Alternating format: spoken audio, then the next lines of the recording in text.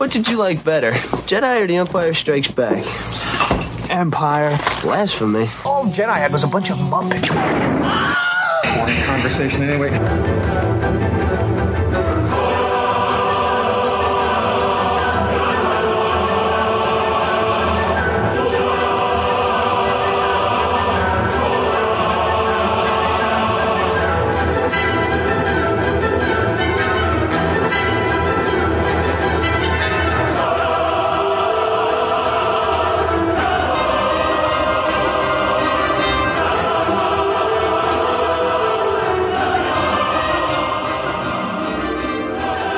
Hey, Star Wars fans, and welcome to Boring Conversation Anyway. I'm your host, Chris, and today I'm joined by my good friend Thor, and we're recording episode 230.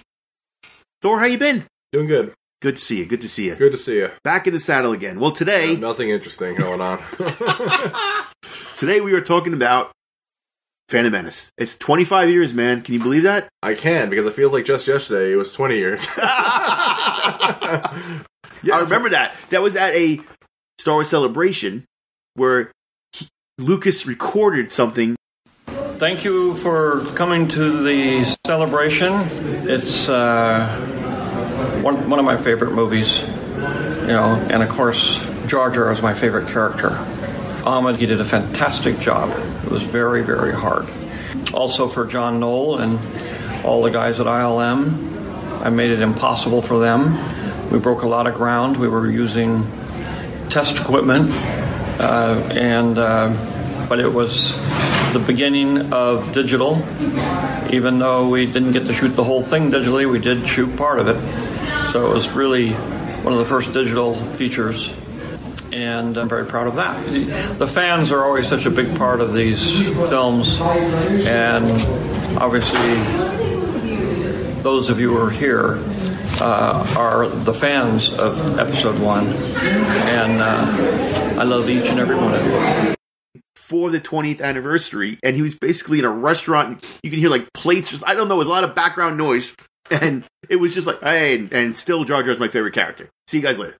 Yeah. You know what I mean? but it was so like horribly edited. It was just, like, yeah. not only do I not care enough about doing this, like, I don't know, in an office somewhere or something, but also I'm going to troll all you fans by doubling down that Jar Jar's my favorite character. The man's created Indiana Jones, but Jar Jar Binks is still his favorite character he's created. Uh, welcome to the 25th anniversary it. of Indiana Smith, if you remember, he created Indiana Smith, and it was Spielberg who said, "How about Jones?" And they went with that. Wow. Indiana Smith is not as cool. No, it's not. But we're I don't also know why. What if it was Indiana Smith for forty years, and then someone said it was going to be Indiana Jones? We'd be like, "Wow, that's not as cool as Smith." No, I feel like we'd be like, that's not cooler.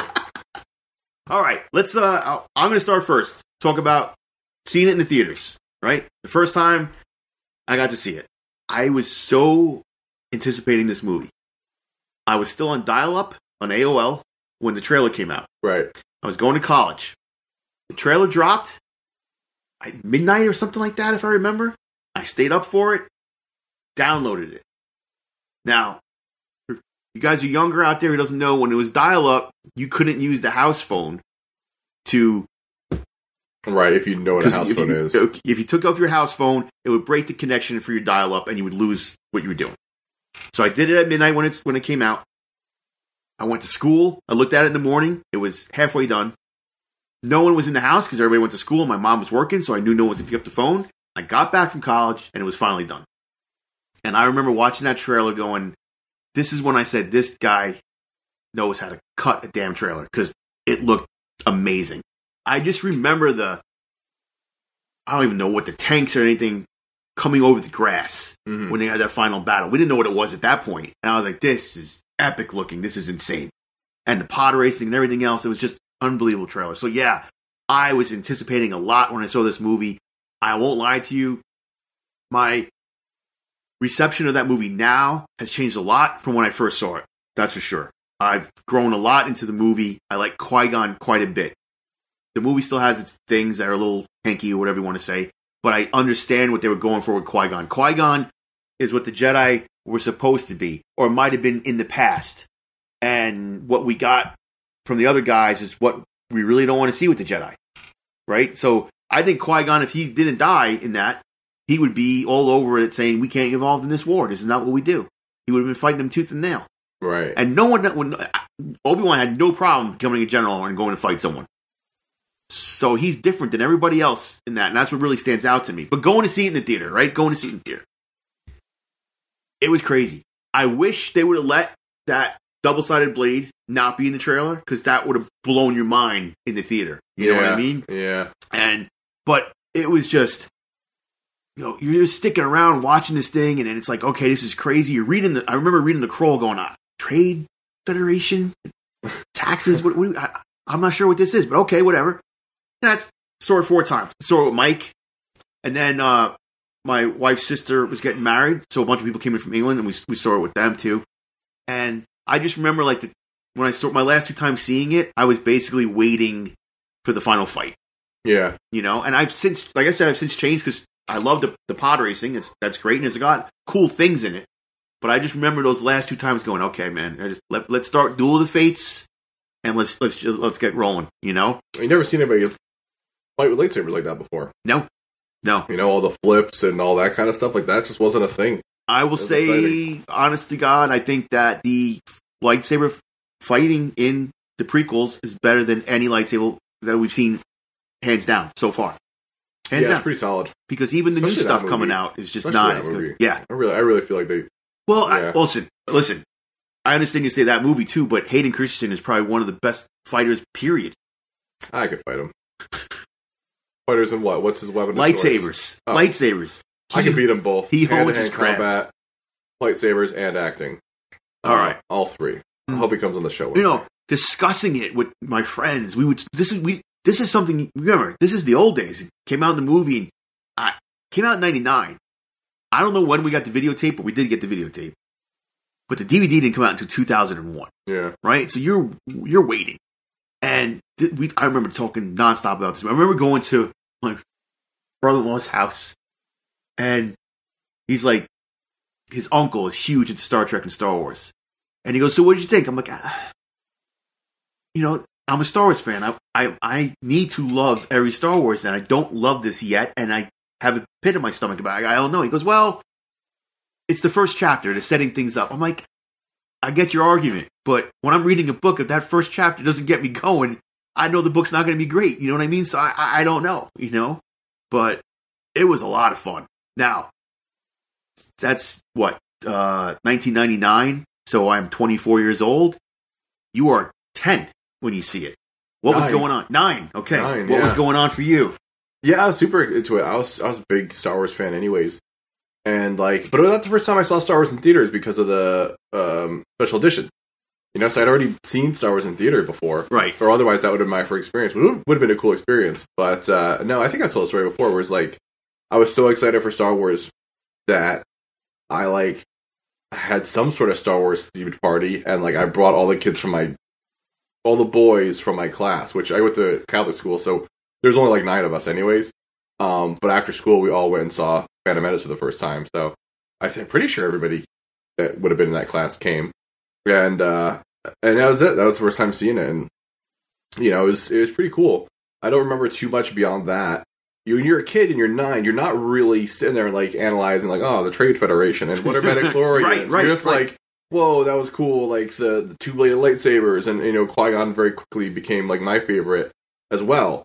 You know, uh, from that movie for sure. Uh, and and yeah, it, it was just it was an exciting experience. And I think I to tell me if, if, if I'm wrong here, but I really would feel pretty good about saying that the experience it was pretty similar to the Force Awakens.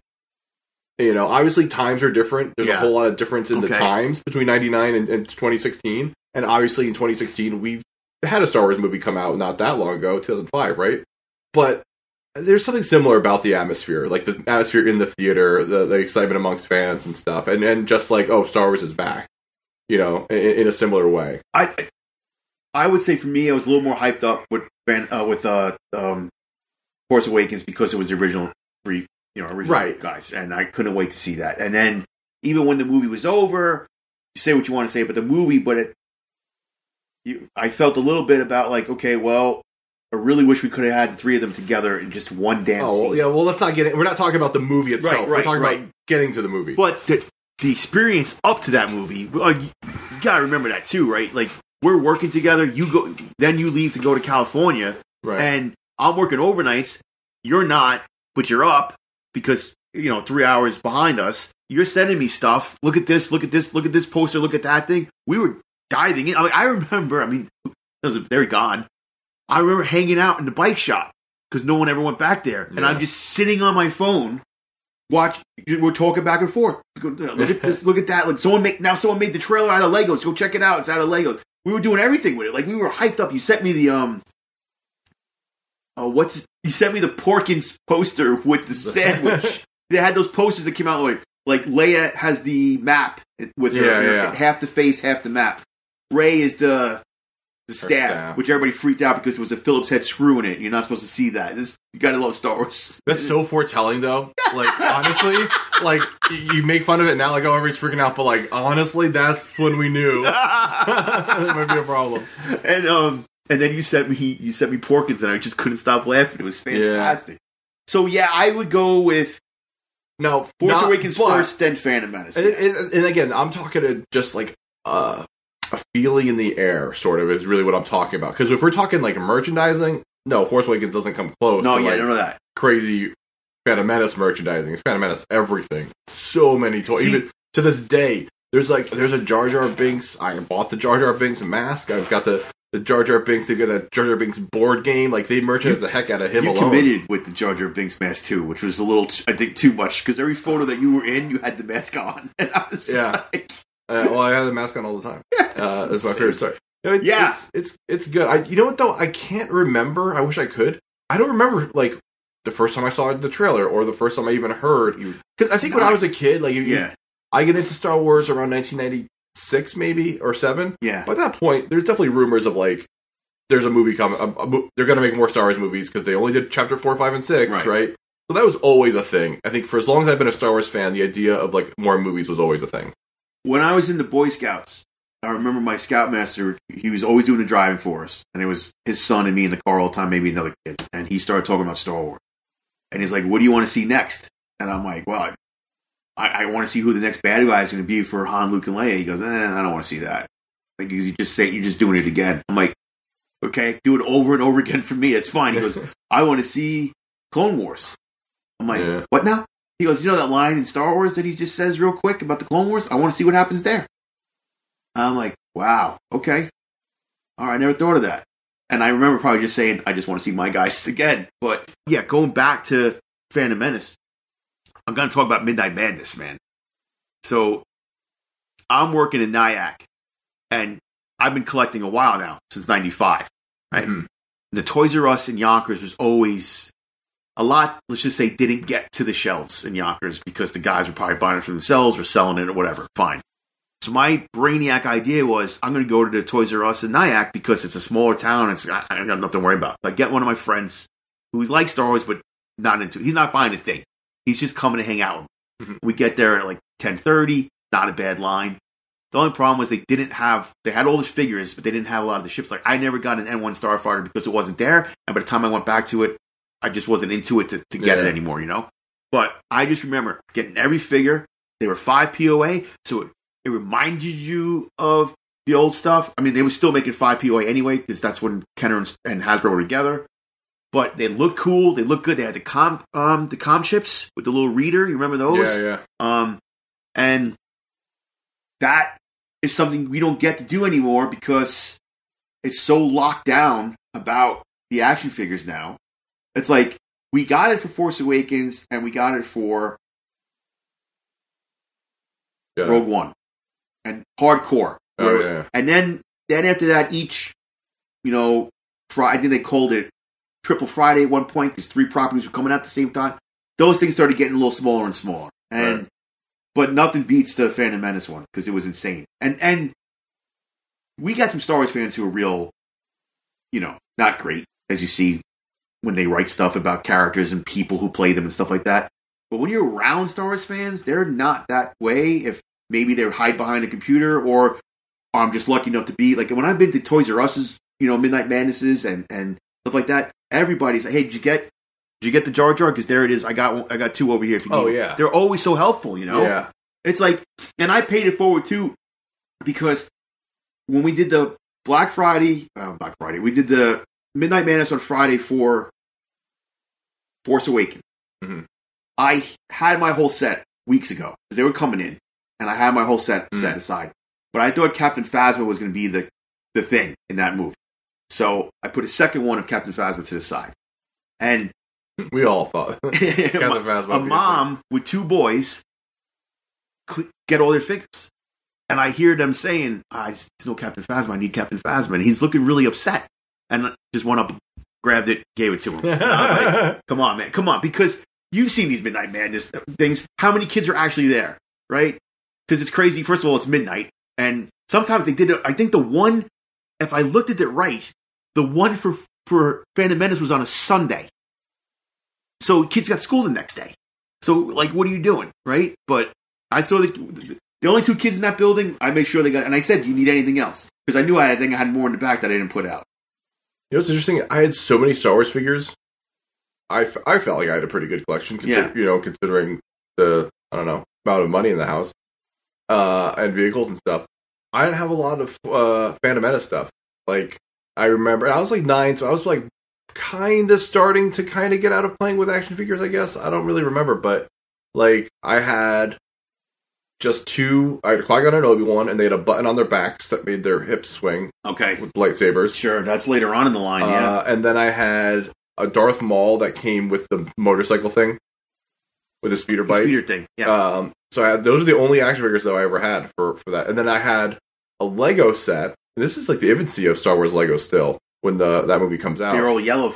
I think right? so. Yeah, I, had, I had a Lego set that was like I think it was Qui Gon and Obi Wan in Naboo, and I think it came with two um, battle droids with the, the little sort of moped things they got. Scooters, I don't know what you would call those things. Uh, segways. They look like segways. Um, so yeah, not a ton of like merchandise. I think it was like by that time my dad, who used to work at Toys R Us, I was left going to Toys. R Us. I he's think that- done. Okay. That, that affected my toys in, in a big way. I yeah, think. of course. Yeah. What was your biggest? Just just to keep it with the toys for a minute. What was your like? With your father being in charge of a Toys R Us, what was what you thought you got the most? Was it Batman at that point? Because I know they're releasing Batman figures. I had like, a every- ton of Batman Yeah. stuff. Okay. Star Wars was my thing though. So Star Wars, I had the most Star Wars out of anything. Oh, you were getting the other ones like uh the All 90 Power of the Force. Power of the Force stuff. Yeah. I had a lot. I oh, had, that's had a awesome. ton of ships and stuff. I got real lucky. That's cool. So you really you did, but you didn't have a lot for for uh, No. Phantom Menace. Okay. No, I remember also though my favorite Phantom Menace thing. I got it like it was like a Christmas like I, I want to say maybe it was one of those like Secret Santa things, Yeah. or maybe it was like a uh like a white elephant sort of thing. I don't know, but somehow I wound up somebody had given me it was a Darth Maul inflatable chair, and it was Oh, I know that. Yeah, awesome. okay, I would I would I would spend money to buy another one. I very quickly popped and was broken, course. of course, like everything I own, but. when I worked for Sam Goody, I had a really good friend Paul who's older than me. He's a good guy, and uh, we had a great group in that Sam Goody thing. I love working for a record store. It was one of the highlights of working as a kid. But he's on the phone when our boss is sick, so he's not coming in, and it's before I became a manager. So, or I think I was an assistant manager. That's what it was. And there's a Cartman inflatable chair, and he answers the phone, and I see him turn, and I'm rolling around. There's nobody in the store because it's in the morning. We opened at ten o'clock in the morning. No Yeah. one ever came in, and I'm rolling around the store in this chair, and he's looking at me, and he just looks so weird. I'm like, "What's up?" When he gets off the phone, he goes, "Well, that was Craig. He just wanted to make sure everybody was working." And I turn, and I see you rolling on your back on a chair. Testing Oh. it out. A lot of fun. A lot of fun that was. Yeah. But- yeah, and I used to, speaking of Sam Goody, our sister store called Suncoast, which was the movie store, even though we had movies in our section too, but whatever. I got these figures from them once, but they call them like the uh, shampoo bottles. They don't do anything. They're just Yeah. statues. I got a couple of those upstairs. They were cool because you weren't seeing anything a lot. That, let's, God, that's got to be 95, right? 96 probably when I started getting those. Yeah, yeah. So, all right.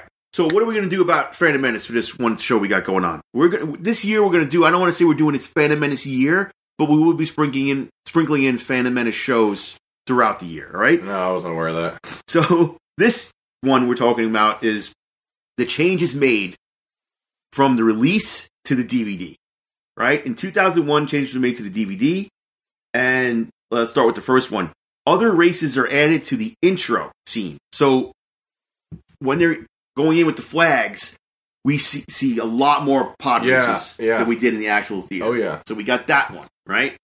Then the second lap is added in pod racing, which Yeah. we did not see before. Now, Mike swore that he saw it, but he wasn't sure in the theater. And I just think is the way it's edited, but they edit a full lap into the movie again. So it might have looked like you saw a second lap, like you might have seen the the the three colored lights showing you what lap it was. It's a long segment. but this is longer. se- It's basically what it comes down to. This is a very longer segment. yeah, it's not easy to figure out why one they got rid of it, and two is like, well, nobody likes the movie anyway, so let's put it back. And then moment where Watto says Saboba, they just took that out for whatever reason. You didn't need it. I guess they just took it out. So that's keep going going with there. The other one, which I never knew was added in, is the air taxi. When they get Oh, to yeah. Coruscant, that was added in. You never knew. Oh, because you probably weren't. You probably didn't watch it. Like, I know everything that was added in Okay. because I watched that VHS a lot. See, I believe I had. I'm. I. I. There's no way I didn't have that VHS Yeah, because I collected everything Star Wars, right? And, Yeah. and Mike was- he described it to me. The one that we got had the films, the film cell in it. And I think yep, mine, was yep. the, mine was like the back of someone I didn't care about, whatever it was. I don't can't tell you how many times I watched it though. You know, I might might have watched it the one time and then Yeah. put it away. I don't know. The DVD, I've been watching that the last couple of days because it's got uh, some things that I want to check out on there, and it has the music video on the DVD and all that stuff, which is pretty cool. So I am was- really For not. some reason, I was like the Weird Al music video. I'm not 100% about what I remember in 1999. I'm an old man now, and what I remember, and I saw it four times, and that seems like a lot. Not for me. For, for it to beat it into my head, I probably had to see it like another five times. yeah, it's like it became a movie, just like a lot of movies. Just like, yeah, I'm throwing this on. I'm watching this a lot. I'm, you know, I was still a kid. Yeah. I watched that movie a lot. So yeah, the air taxi scene, which is like again, it's fine. It's it's it's fine to see why it's not there, but Well, I have an interview from George about why he did it. So let's play that now. oh yeah.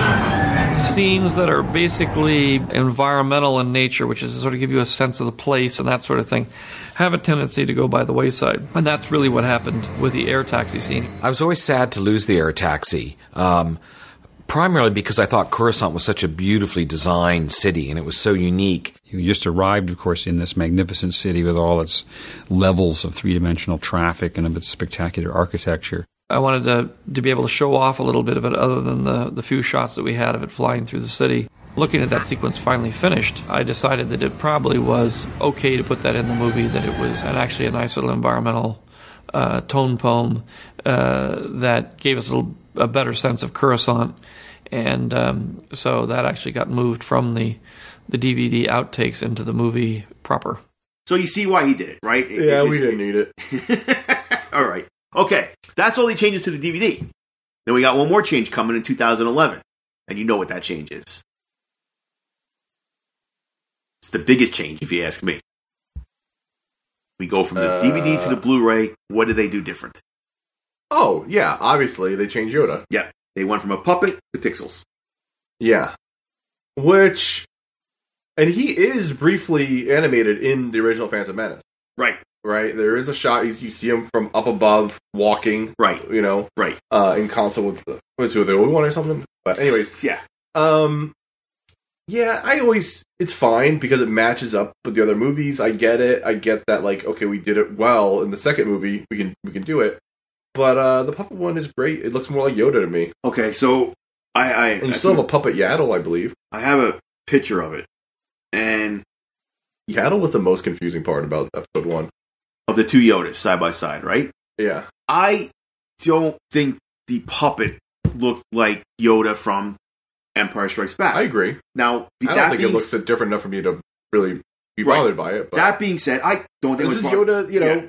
tw 25, 30 years later, earlier rather, right, and or even more than that. right. But once you once you announce in Return of the Jedi that he's 900 years old, Yeah, I know. it doesn't right. So they could have just had. I know the puppet. They have one. They have one. I know that. I think they had to preserve it because you know that stuff breaks apart all the time, right? And if you go into the archives, you can see it behind glass. So I think it's preserved. But they had that. They could have just replicated it. And If you wanted to give him a little bit more hair or something on the top, I could get it. But it does. It's I don't know. It also could be lighting too, because I've been watching a lot of behind the scenes stuff. I showed you and Mike when you're running around underneath Dagobah, Yeah. and that puppet looks does not look good. right. So lighting is everything too. So I don't know. Maybe it's that as well. You know? Yeah. Yeah, but I mean, it makes it makes sense. George, you know, likes to go back and fix Changes. things when he can, and he mm-hmm. still could. And, And he had one final change. but before- honestly, think about it that way. Like, not big changes. He made the movie he wanted to make. yes, Like, yes. if anything, he just like I. The one thing he wanted to do is is have a digital Yoda, and they went back and did that. But And the thing that he did that no one else does. Go ahead. sorry, sorry, I didn't mean to cut you off, but like, just thinking about it, where it's like they must have been so close to just doing it that way, anyways. Like, if they had more Yoda scenes, maybe because Jar Jar himself looks pretty good. You know, you know what I mean? Like they're they're figuring Jar Jar out. Um, and obviously, like in Attack of the Clones, like Yoda looks pretty good, right? Like I don't think anybody disagrees with that. No. He looks like an animated character, Right. sure, but for 2002. So yeah, it makes me wonder if if you had more scenes, they would have just tried hard, tried harder, spent more time on I it, more just- money, whatever. I think another part of that though is the lightning speed of special effects changing in Oh, that yeah. amount of time. Oh right? yeah, there's a big difference between So 1999 and 2001 is, Yeah. is a, a year closer to Attack of the Clones. We Right. can do we could do that Yoda now because we're doing it in Attack of the Clones. You know what I mean? Something like you that. need it for Attack of the Clones. Right. Now he's swinging lightsabers and jumping around. and- exactly, exactly. Yeah. And, and that was something that Frank Oz said to the new people. They're like, you know, when they were naming all these movies that were coming out when it was, you know, the Blue Sky era of, Star, of Disney Star Wars, one of this was a a, a, a a Yoda movie. Yeah. And Frank Oz, let me tell you something. I know everybody loves the puppet. We're not doing that movie with a puppet. Can't do that movie with a puppet. What we need to do, if he's gonna be running around, we can't do it with a puppet. And I just found that interesting. This is a guy who's done puppets his whole life, but he knows what you can do and what you can't do, right? He's, So- he's like, I've done puppets my whole life, but I don't want to do. I, I don't want to puppets here anymore. I'm eight- 90 years old. Whatever. Yeah. he- yeah. Yeah. It's interesting. I mean, We got one last, one last, if you want to call it a change, but the last different version of the Phantom Menace was in 2012 when it was released in theaters again in 3D. and I saw it in 3D. Yeah, and so did I. Um. Yep. You, me, and Keith was there, and what else? I don't know how many people saw that. I, there's a, I remember there being people in the theater, not Yeah. like filled theater or anything. We, uh, Um, it was me and my brother-in-law. We took all the kids. yeah, I went with Keith, and I think pretty sure I went with Keith. Yeah, it was a good time. it was fun. The 3D was okay because it's again you were scanning it to 3D. You weren't actually recording it for 3D, which makes a huge difference Yeah. in the 3D aspect of it. But it was still fun, and I look forward basically to have the re-release of five more movies coming out.